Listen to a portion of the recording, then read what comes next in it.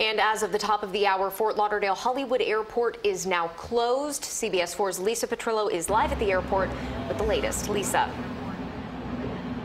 Carly, it is a no-fly zone here at Fort Lauderdale International Airport. As you mentioned, the airport is closed due to Hurricane Dorian. As you can see, it's been completely, it is a dead zone in there, uh, and very few cars. Adam, if you'll come over to the left, as you see a couple of police cars are coming and going. The last flight scheduled to leave is at 11.50. That was at 11.50 according to the flight tracker, though. Flights did leave to Nassau this morning. Many have not landed, though we just checked in a Delta flight from Atlanta was scheduled to land just about now. The airport is closed here until further notice. That means no access to the parking garage as well. So if you have a car here in this garage, you cannot get it until the airport reopens.